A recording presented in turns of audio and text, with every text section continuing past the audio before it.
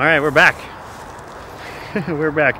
It's been a few days of test flying out here in the field, like after after other shoots and um, in the evenings and whatnot. So it keeps being too dark to to get uh, much footage. But I'm back as the sun's setting once again to fly this guy here, the Nantahala, which is my um, kind of custom designed X8 heavy lifter FPV drone.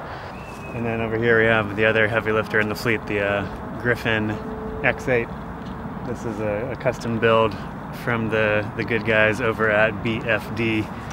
So there she is, the, the heavy lifter, which would normally carry like my full red uh, Movi and all, all, that kind of stuff. But today it's just a just out here doing some uh, testing and tuning on it. And then I'm gonna put up the Nantahala and get some um, footage on the Z-Cam. So I'll give you a look through it. All right.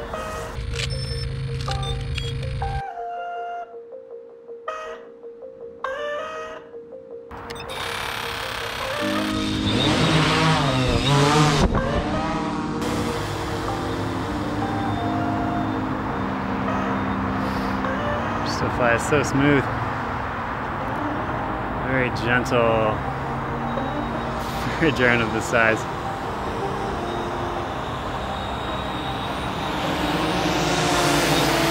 Doesn't feel like it needs any throttle at all, it's just gonna pop into the air, even though it's got that camera up there.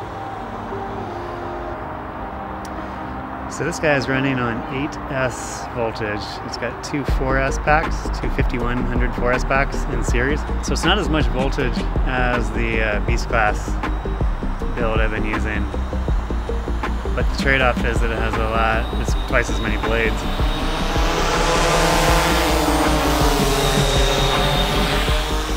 So the combined effect of that is that it feels, you know, powerful and steady but not so jumpy. I think that makes it less fast and agile overall. But the trade-off being that it's smooth and kind of indifferent to the weight.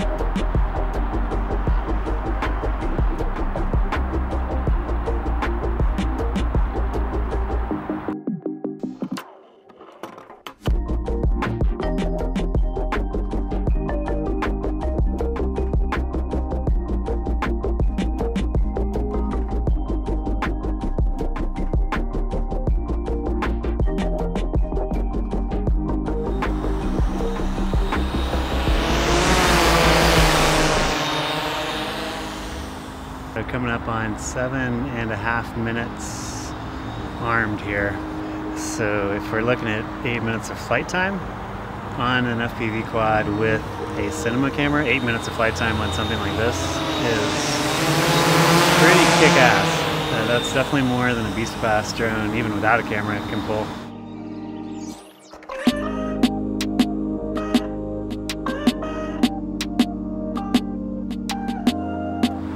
Yeah, if you're like an all-around more capable drone and the fact that it's the weight and the smoothness and the redundancy and the battery life. I think the trade-off being that it's not the snappy little agile bird that its smaller siblings are.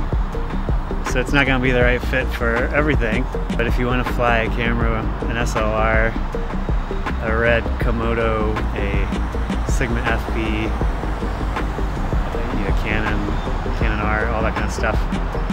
This is going to be a kick-ass choice, I think, for people who are okay with the eight blades. all right, so that's my voltage alarm.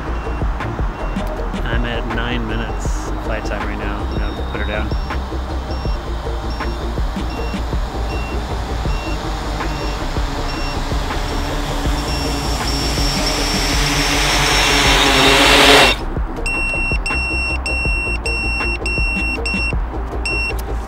Have it.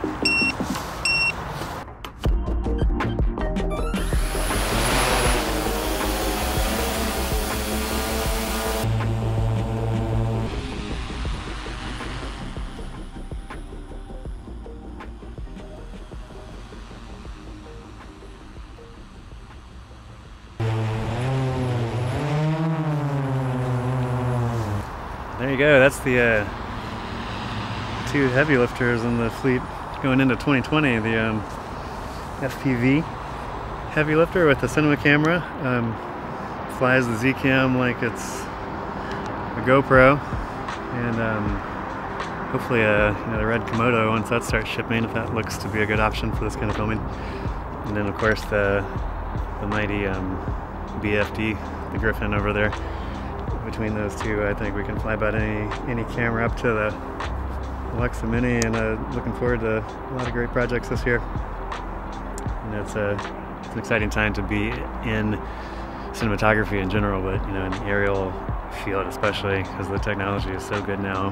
There's such a wide range of tools and applications, and uh, you know, people have kind of warmed up to the technology, you know, on set and on projects. We're not so much like back in the uh, homegrown days trying to make the case for you know remote control helicopters and cameras. It's kind of a given now that close range aerial filming and high speed aerial filming, um, but there's this this role that this kind of technology can really play in our industry.